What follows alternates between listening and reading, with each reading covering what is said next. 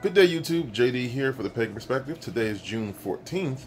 This week's topic basically covers how do you go from studying a path, you know, reading books, being book smart about it, to actually practicing it, becoming a witch, becoming a shaman, becoming who you want to be, getting deeply into your path. Basically, I believe it just comes down to rituals. Um, you know, once you start to perform rituals, you start to feel those energies, you start to feel connected to the world around you, and you start to feel like you're part of a community. I would say join Facebook groups. Read, look for rituals. Even if you don't like the rituals that are in the book, make your own rituals. Um, make it part of your everyday life. A ritual can be something as simple as I'm not even. Um, forgive me, I'm not sure who the author was, but there was one author of one of the, one of the books I read a few years ago where it just talked about just waking up in the morning, looking up at the sky, speaking to the sky, if that's okay in your particular religion.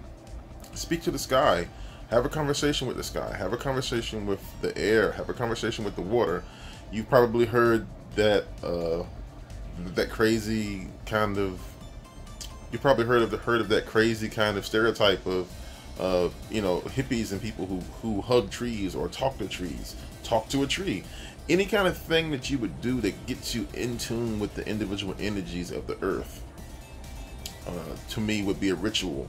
A ritual doesn't have to be this profound kind of ceremonial magician level thing where you're like picking specific types of fabric and specific types of jewels and specific types of metal and things and you, and you're only doing it on on one particular day out of the month because that's when the planets align. That is a very complicated way to do stuff that, that qualifies for a ritual but again a ritual can be anything that you do on the regular that taps you into into energies or has a specific purpose for your religion. So i would say make it meaningful um, if you're a, if you're the type of person who, who relies on day planners or calendars to plan out your day, uh, go ahead. Find an hour out of the day that you can meditate. Simply meditating on your religion or, or, or thinking about your place in your religion is a ritual. To me, that is how you become a, practice, a practicing insert label here. Whether you're a witch, whether you're a shaman, whether you're a priestess, you know this is that's a highly personal thing but actively doing something and it doesn't really mean that you have to get up and run because i've seen people uh, in forums who are paraplegics and they are they are wiccans they're witches they're shaman.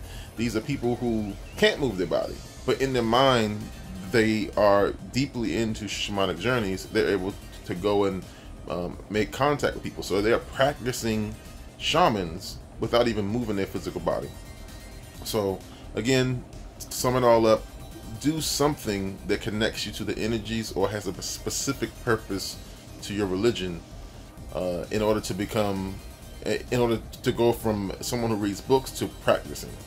And that's about all I have to say about this this particular topic. I'll see you next week here on Thursday at the Pagan Perspective. Thanks so much for watching the video and blessed be.